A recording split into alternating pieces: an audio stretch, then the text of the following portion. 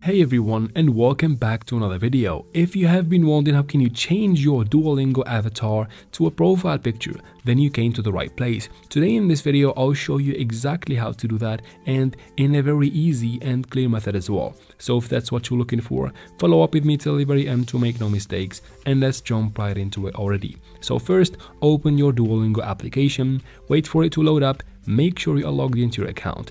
From here, if you try to open your profile by tapping this avatar in the bottom, you get your avatar at the top right here. If you tap on it, you cannot change it to a profile picture from here, you can just customize it a little bit. Even if you try to open your settings by tapping the gear icon in the top right corner right here, it will take you to your settings where you can change the avatar to another avatar or maybe edit your avatar from here as well.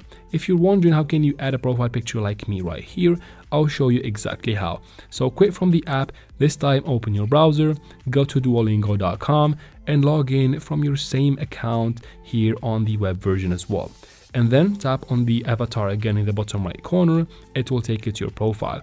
Right on top of your avatar, you find this little pen, go ahead and tap on it.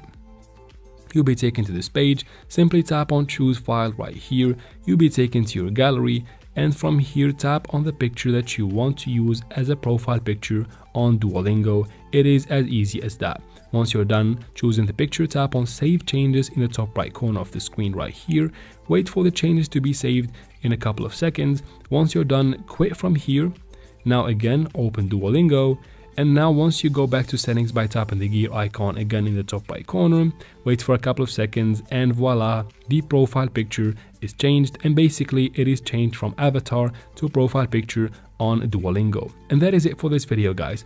I hope it was useful. If it was, please like and leave your questions and comments in the comment section. I'll try to answer every single one. And of course, don't forget to subscribe for future videos like this one. Thank you very much for watching and see you in future videos.